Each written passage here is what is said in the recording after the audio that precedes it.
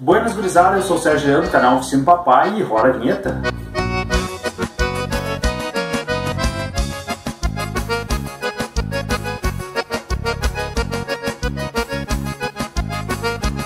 Os 10 mandamentos do chimarrão.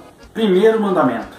Não peça açúcar no mate. É melhor pedir um guaraná do que pedir açúcar no mate. É a mesma coisa que pedir para botar sal na tua caipirinha ou para esquentar a tua cerveja no micro-ondas, o mate do gaúcho é algo extremamente importante. Tenha mais respeito. O açúcar foi feito pro bolo, pro refrigerante. Segundo mandamento. Ô tchê, tu não vai me dizer que o chimarrão é anti-higiênico, hein? Tu já botou a boca em coisa muito pior. Aham, sei lá, né? Vai saber. Comeu um bolo estragado, talvez. Bebeu leite azedo. Comeu um pão mofado. E aí tu vai falar pro gaúcho que o chimarrão é anti-higiênico? Bah, tá louco, meu? Ô bagual, não diga que o chimarrão tá quente demais. A água tem que estar pelando. E mesmo que saia água dos olhos, tu tem que tomar. Se os outros estão tomando, então porque tá bom. O dono do chimarrão é que sabe a temperatura exata da erva que ele tá usando. Não vai me colocar água fria no mato. E isso vai virar uma lavagem. E é capaz de dar uma dor de barriga. E eu já comentei isso em outro vídeo. Quarto mandamento. O Galdério, não deixe o mate pela metade. Mas de jeito nenhum deixe o mate pela metade. O mate foi feito para roncar até o fim.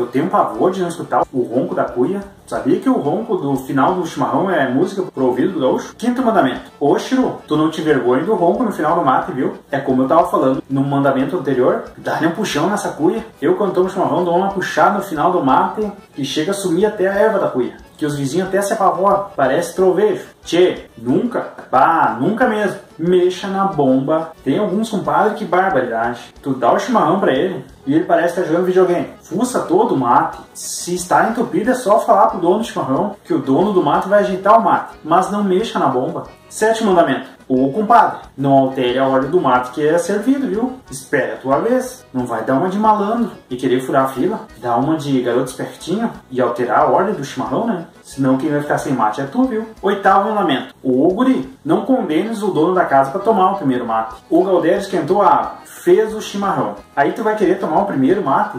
Mas bem capaz. Eu, quando faço chimarrão, tomo uns três chimarrão antes de passar a cuia. E aí, quando a cuia volta pra mim, eu tomo mais um. Coisa de louco. Nono mandamento. Ô gaúcho, por favor, não durma com a cuia na mão. Tem compadre que acha que a cuia é microfone, começa a falar e não para mais. Esquece de tomar o mate. E ainda quando entrega não ronca a cuia. Talvez esteja com pressa, né? De viu que já ficou demais com a cuia na mão. Aí dá umas três puxadinhas e já entrega. E ainda tem aquele que sai passear com a cuia. E ainda esquece em algum lugar ali. Aí o dono do chimarrão tem que estar tá catando a cuia e saindo atrás para servir o mate para os outros compadres, né? Décimo mandamento. Não me diga que o chimarrão dá câncer na garganta. É mentira. Câncer na garganta é outra coisa que dá. Era só o que me faltava? Não me fala isso, hein? Senão o dono do mate vai te deixar com câncer no. Um aplauso que ele vai te dar. Feito, galera, esse era o vídeo de hoje. Não se esqueça de se inscrever no canal. Um forte abraço e até mais.